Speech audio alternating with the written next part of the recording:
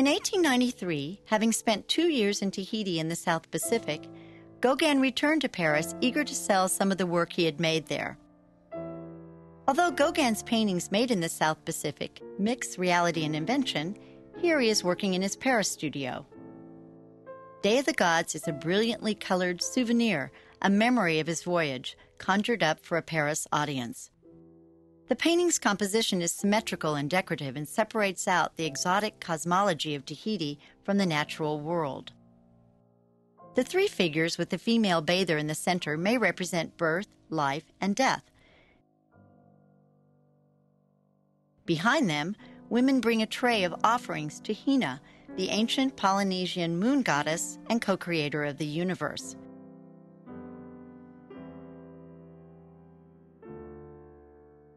The area to the right of the goddess seems devoted to love and sensuality. Gauguin had gone to Tahiti in search of inspiration in the form of a simple ancient culture. He was keenly disappointed to discover that French colonialism had all but erased the old beliefs. Gauguin had to search anthropological texts for Polynesian legends and supplement his own sketches with images from books and photographs to create the mysterious semi imaginary world in his paintings.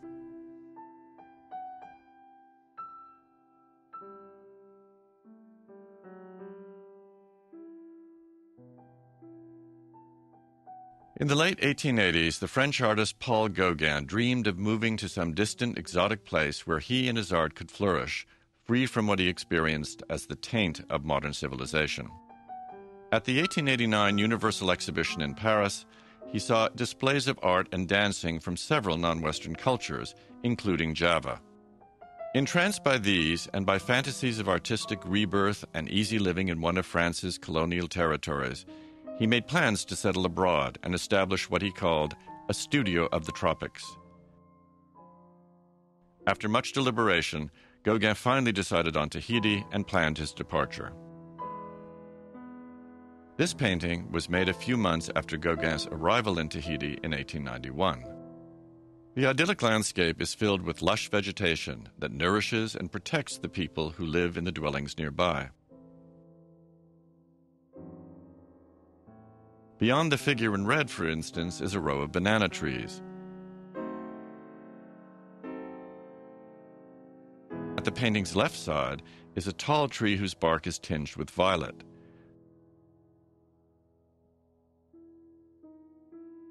This is a hotu, whose pods and flowers were used by local people as remedies.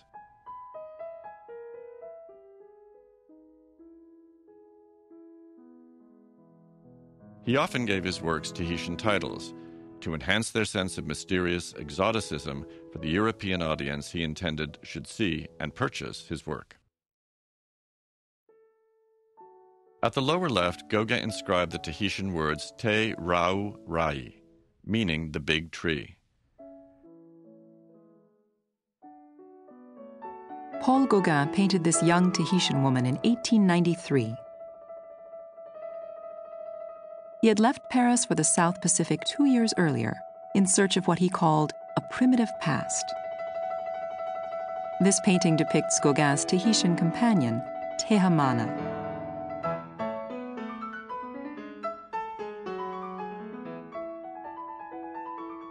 She wears a modest dress of the kind provided by Catholic missionaries.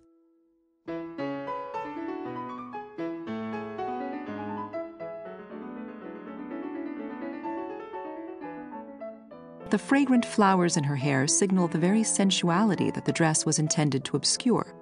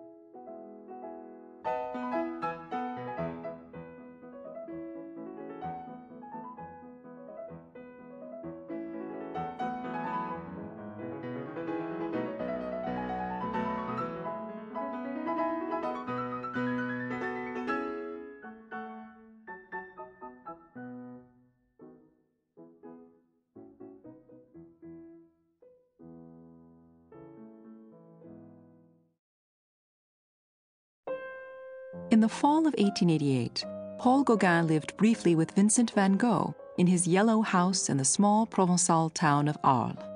There he painted this picture of women walking through a park in the bitter Mistral wind. Douglas Druick, President and Eloise W. Martin Director of the Art Institute of Chicago. We don't see the horizon, we don't see sky. It's as if Gauguin was looking from above down below, and indeed it was a perspective like this that Gauguin would have had looking from his bedroom across the street in the Yellow House onto the park. It's not only the women of Arles who are wrapped against the cold, it's also the plants in the park, and we see the two yellow cones which are protecting the bushes against the winter frost. And a strange sense of melancholy pervades the picture. The strangeness is enhanced by the green form in the painting's lower left corner. The bush seems to read like a face, as if there was some watchful presence in the park, unbeknownst to the women who pass by. We do know that this picture was painted at a time when there were great tensions between Gauguin and Van Gogh.